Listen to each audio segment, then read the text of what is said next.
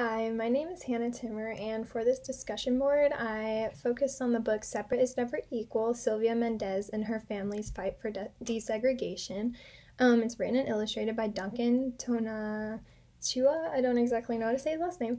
Um, he is a Mexican American author and illustrator. He has written several award winning novels, including this one. Um, his story themes relate to Latino experience, focusing on so- social justice issues. Um, I made this selection because it had um, been nominated and won many awards, and it focuses on nonfiction and multicultural aspects of the story. Um, so this book is about the a family of the Mexican ethnicity, and they try to enroll um, their children into school, but they're turned away immediately because of their skin color, and it's um, a white focused school. So this family, they obviously know that's not right and that's not acceptable, so they fight for their right to an education. And so the dad takes the role of being the ultimate fighter for this case. He hires a lawyer, they fight for this in court. Um, and it almost took a year for this to be um, passed by the judge as in favor of the Mendez family. Um, even before this was um, this case won, there were signs posted at pools and restrooms that say no dogs or Mexicans allowed. I found that very shocking still to see. Um, so after the Mendez family won their case, the um, school board decided to appeal the case and ask for another trial. Then, once this was spread around town, a bunch of families came together signing a petition for the Mendez family to win, and this was um, a success because a new law stated that all children are allowed to go to school together regardless of race, ethnicity, or language. The children at first had a hard time adjusting to this new school and this new law, but they soon made new friends and felt very welcomed. Um, I think this book is really great for actually ages 8 and up because it opens their eyes to other cultures and what they had to go through to get their edu- educational rights.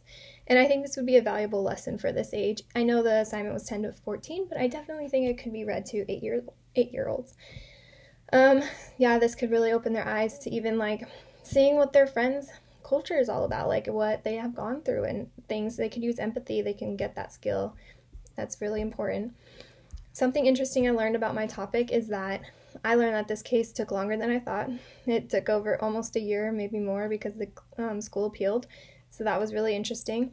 Um, another thing is that um, that at first this was the only family fighting for their case because other worked for other families worked for white families, and they knew that if they signed the peti- petition for this, that they would get in trouble or something like that, like they would be punished because they worked for whites.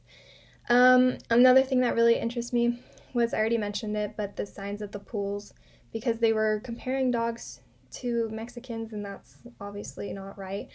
Um, and the lawyer who fought for the case had fought for a lot of other cases. They fought for the bathroom rights, the pool came up, and like just things like that where they were segregated.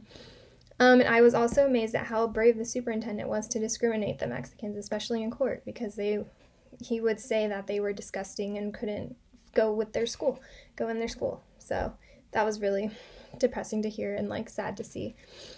Um, so I think that this um, book definitely falls into the factual and interpretive category because it throws out a lot of information and heartfelt events that have happened before in history, but it also takes the reader on the character's adventure with them. The book it creates an emotional connection with the characters and like what they went through and it engages a lot of empathy and connection with the characters.